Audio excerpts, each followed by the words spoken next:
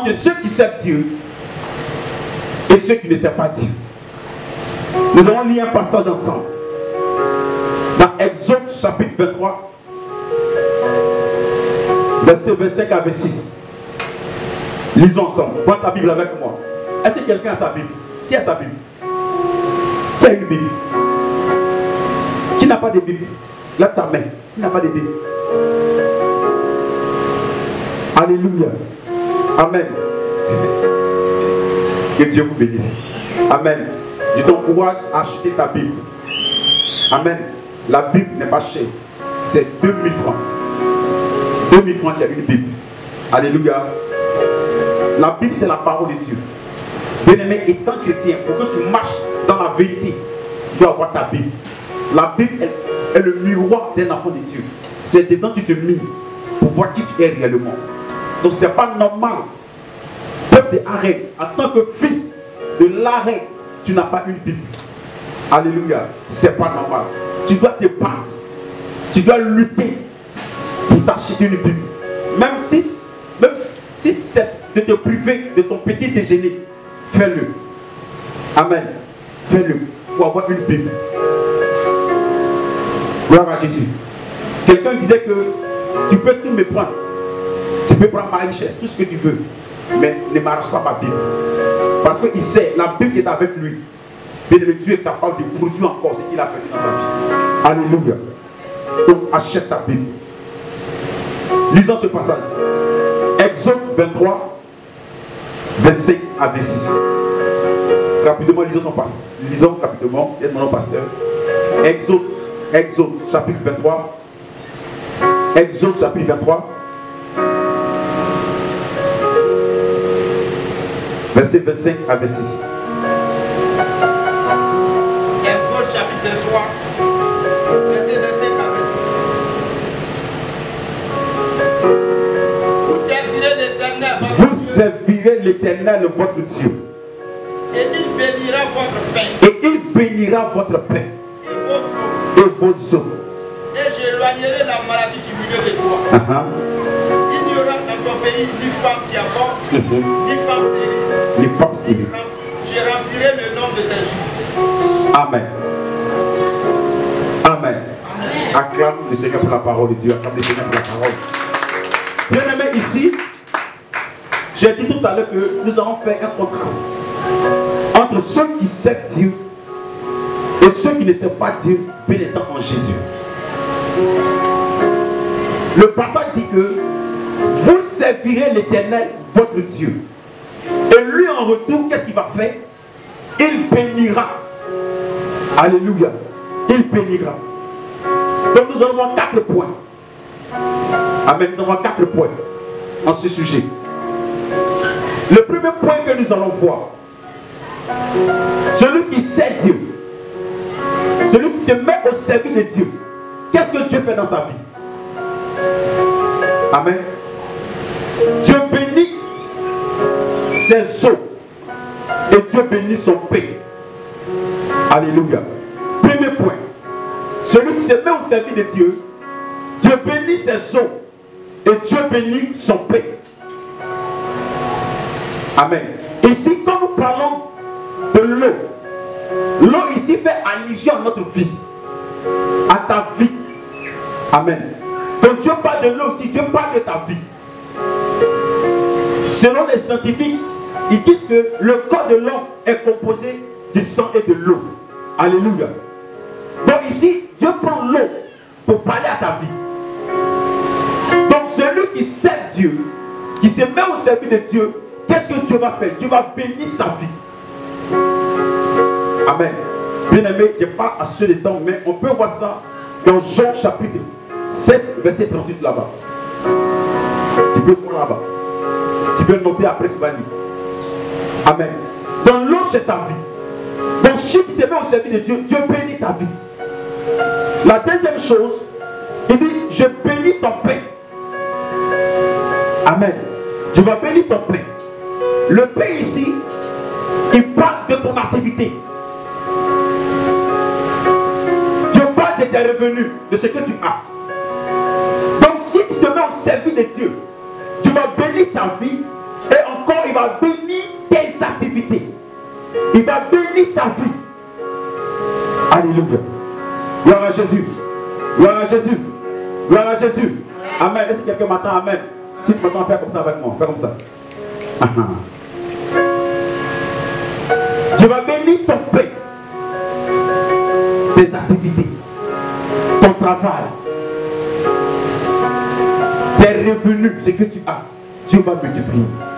Donc si nous faisons ici un contraste entre celui qui sait Dieu et celui qui ne sait pas Dieu bien étant Jésus, donc si tu ne sais pas Dieu, étant enfant de Dieu, étant chrétien, Dieu, en d'autres termes, ne bénira pas ta vie. Alléluia. Dieu ne bénira pas ta vie. Et Dieu ne bénira pas ton activité. Surpris, étant enfant de Dieu, notre vie n'est pas bénie. Ton activité n'est pas bénie. Tes revenus ne se multiplient pas. Pourquoi? La faute n'est pas Dieu. La faute n'est pas Satan. Mais la faute, c'est toi-même. Parce que tu ne te mets pas au service de Dieu. Tu ne sais pas Dieu. Voilà pourquoi Dieu ne bénit pas ton activité. Se mettent au service de Dieu, Dieu bénit les vies. On peut voir ça dans la Bible. Abraham s'est mis au service de Dieu, Dieu a béni sa vie. Au fur et à mesure, on peut voir. Mais si nous, nous ne servons pas Dieu, Dieu ne bénira pas notre activité et notre vie. Amen. Dis à ton voisin, est-ce que tu sais l'éternel? Dire voisin, est-ce que tu sais Dieu Faut dire voisin, est-ce que tu sais Dieu Gloire à Jésus. La deuxième chose,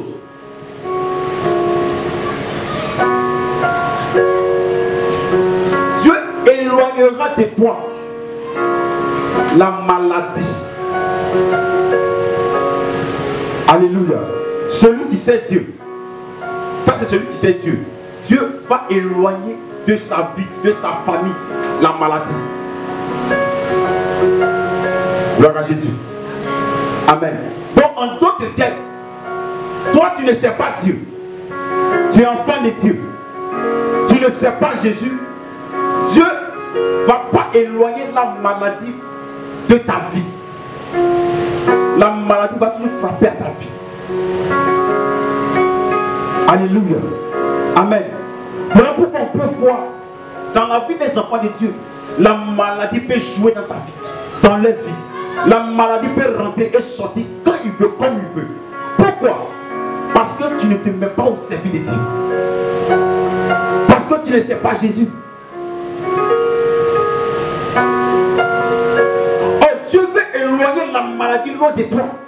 Mais comme tu ne te mets pas à son service, Alléluia, la maladie a un droit frapper à ta porte, de rentrer dans ta vie, dans ta famille. Quand même tu aperçois quelque chose, ton petit salaire, la maladie vient en même temps. Si ce n'est pas ton enfant, c'est ta femme. Si ce n'est pas ta femme, c'est toi-même. Ou bien c'est un parent quelque part, on t'appelle. Bien-aimé, tu n'es pas épanoui. Quand la maladie est là, tu n'es pas épanoui. La maladie t'empêche de faire beaucoup de choses. La maladie empêche une personne d'entreprendre, de sortir. Quand tu es malade, tu es limité. Tu ne peux pas faire beaucoup de choses. Donc Dieu ne peut pas éloigner la maladie de toi. Pourquoi? Parce que tu ne sais pas Dieu. Parce que tu ne te mets pas à son service. Gloire à Jésus. Alléluia. Alléluia. Troisième chose.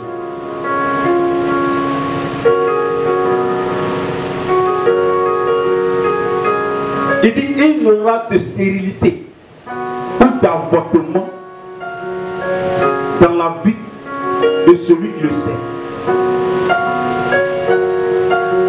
Tu ne seras pas stérile. Il n'y aura pas d'avortement dans ta vie. Parce que tu sais Dieu. Ici, quand on parle de la stérilité, on ne parle pas seulement d'une femme qui ne peut pas fait d'enfants. Amen. Non. Quelqu'un qui ne peut pas produire. Quelqu'un qui est incapable de, de produire. La stérilité peut frapper dans ton activité. Tu peux stérile dans tes activités. Alléluia. Dans tes projets. Quand tu investis ton argent dans quelque chose, ça ne produit pas. Il n'y a pas de résultat. Gloire à Jésus. C'est la stérilité.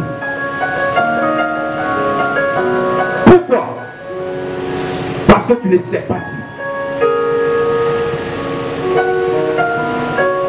La stérilité, tu ne produis pas. Regarde un peu ta vie. Regarde, un peu toi-même. Tu vas analyser ta vie. Depuis 1er janvier 2020 jusqu'à maintenant. Comment ta vie est? Sur le plan financier, matériel, marital. Comment ta vie Mais bien aimé, c'est parce que nous ne servons pas l'éternel. C'est parce qu'on ne s'est même pas servi de Dieu. Voilà pourquoi on est stérile. Or, la Bible dit celui qui ne produit pas sera coupé, jeté dans le feu. On dit l'arbre qui ne produit pas, qui ne donne pas de fruits, sera coupé et jeté dans le feu. On a vu le figuier. Jésus avait faim. Quand il est arrivé, le figuier n'a pas dormi. Il a maudit en même temps. Gloire à Jésus. Gloire à Jésus. Bien aimé, le souhait de Dieu n'est pas que tu sois stérile. Pour ne pas que tu sois stérile dans ta vie, tu dois te mettre au service de Dieu. Tu dois servir ton Dieu. On parle aussi de l'avortement. Bien aimé,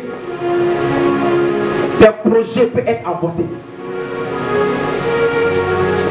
Tu as des visions, tu as des rêves. Ces rêves peuvent être avortés. Pourquoi? Parce que tu ne sais pas dire. Gloire à Jésus. Alléluia. Alléluia. Il y avait un ami à qui ont, on devait confier un contrat de construire des maisons. Amen. Dès qu'ils l'ont appelé, il était content. Deux jours après, on l'appelle. Il dit le projet est avorté. Il a commencé à pleurer. Alléluia. Il a commencé à pleurer. Par moment, ce n'est pas Satan. Ce n'est pas les hôtels de ta famille qui a trop accusé les sorciers de ta famille. Non, c'est parce que madame, quand elle est passée ici, ça cause mon projet a avorté. Il dit non, non. Par moment, ce n'est pas eux. Non, quand mon grand-père est arrivé là, oh, c'est lui l'a fait, homme de Dieu, il est à la place. Non. C'est toi-même. Tu ne sais pas dire. C'est parce que tu te mets pas au service de Dieu, comme chez toi, normalement. Voilà pourquoi il y a l'avortement dans ta vie. Quatrième chose.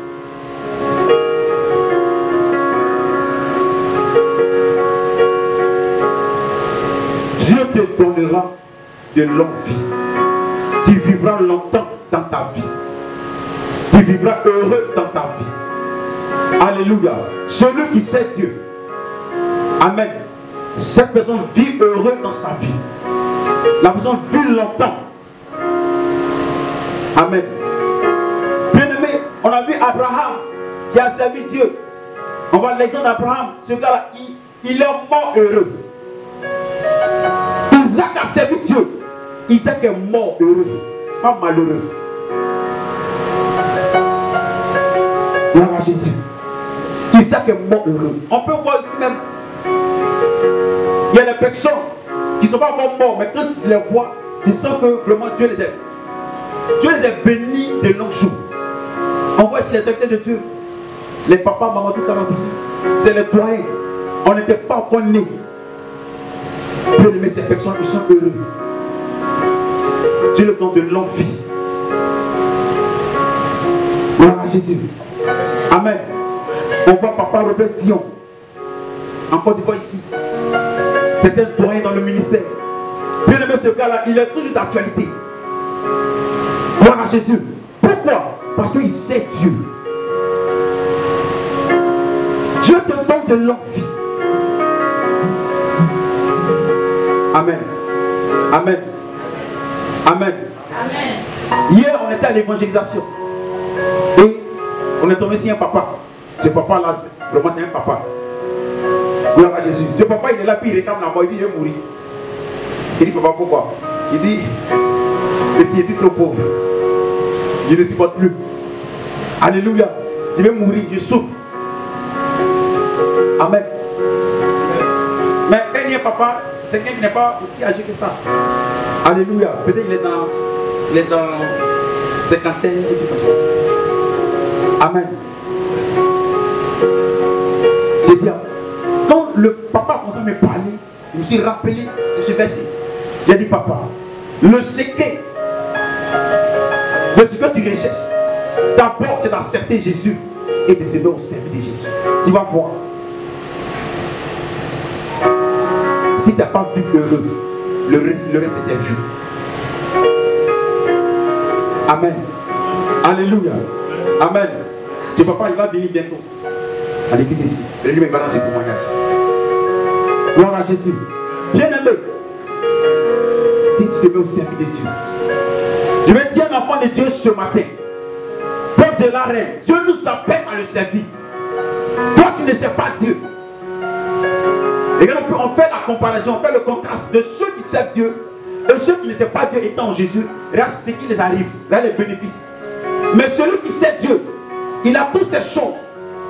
Dieu bénit sa vie. Dieu bénit ses activités. Dieu éloigne la maladie loin de lui. Dieu enlève la stérilité et l'avortement dans sa vie. Et Dieu le comble de beaucoup de jours. Il vit heureux sur la terre. Dieu nous appelle à le servir. Toi qui ne sais pas l'éternel, le servir. Bien aimé, moi c'est le servir de Dieu. On peut servir Dieu dans l'évangélisation en parlant de la part de Dieu. Tu peux servir Dieu dans le serviteurs. Tu peux servir Dieu en venant balayer le temps, en bénir le temps du Seigneur. Tu peux servir le Seigneur, bien aimé, dans beaucoup de choses. Dieu t'appelle le servir. Dieu t'appelle à son service dans l'intercession.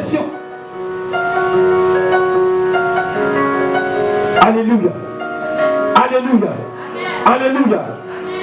Dieu t'a pas sauvé pour rester comme ça. Dieu t'a sauvé pour le servir. Que Dieu te bénisse. Que Dieu te bénisse. Que Dieu te bénisse. Tu peux acclamer le Seigneur Jésus-Christ de Nazareth. Acclame le Seigneur Jésus. Acclame le Seigneur Jésus.